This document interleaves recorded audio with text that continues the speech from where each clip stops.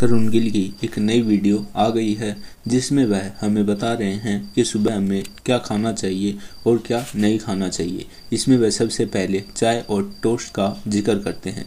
आइए सुनते हैं वह इस वीडियो में क्या कह रहे हैं। वह कहते हैं कि चाय के साथ ब्रेड या टोस्ट खाना हम सभी को बहुत पसंद होता है।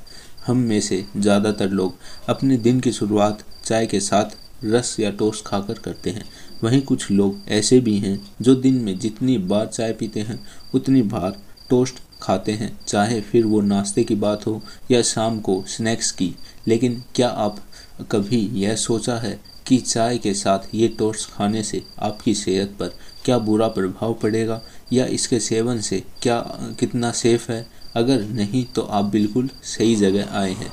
चाय में क्या है? टोस्ट खाने से आपको शुगर और अरे भाई, रात तो रात भी गंभीर freaking get a बीमारियाँ monster हो. हैं टोस्ट me भी tell you, मीठा are है good, और चाय भी are है। good. दोनों में इतना शुगर. होने की वजह से आपको शुगर की बीमारी हो सकती है दिखा ना, और टोस्ट 41 मैदा से का हूँ। बना होने के लेकिन इस उम्र कारण में आप आपके जाएँगे शरीर में जाकर चिपक सकता है